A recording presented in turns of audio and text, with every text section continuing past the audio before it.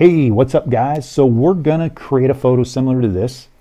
And in so, we're gonna do some light painting. We're gonna use a really, really common household object, a light pen. We're not gonna use the big fancy strobes. We're using iPhone, and you can use any iPhone from probably 10 years ago, five to 10 years ago, old, and you can use an Olympus camera, Panasonic, or pretty much any camera. It's just a little bit more difficult if you don't have the Olympus or an iPhone. That being said, this is more of a creative endeavor to where we want to illustrate some creative ideas with common household objects. So we're going to break down this lighting setup. I'll list the items that we're using in this photo shoot and as we get going and moving forward. Anyway, guys, got questions, comments, write it down below and let's let's get into this shoot.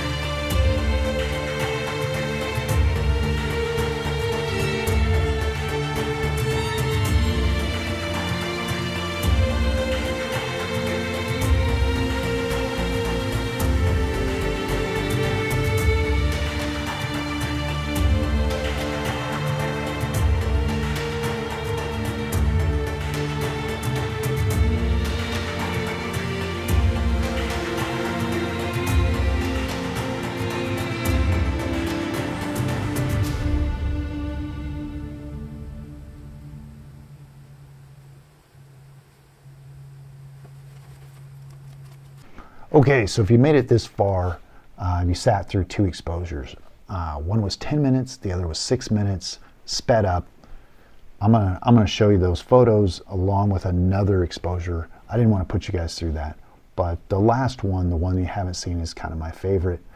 And with that light painting, it with a little small light source, it's kind of hard to tell versus big strobes. You can get it done. In fact, you can get a little bit more detail eked out of the subject if you do it correctly in that. So this isn't your traditional light painting where most on YouTube they'll have a big orange light and they paint their name in, in the sky or something along those lines. This is very subtle. Again, we're going to remove it to another level of abstraction by removing the color. So it's going to be black and white. So it'll be a little bit even more difficult to tell um, how it was processed in that. So anyway, guys, if you have any questions, comments, concerns, I mentioned, put it down. I'll answer it. And I hope to see you guys next week.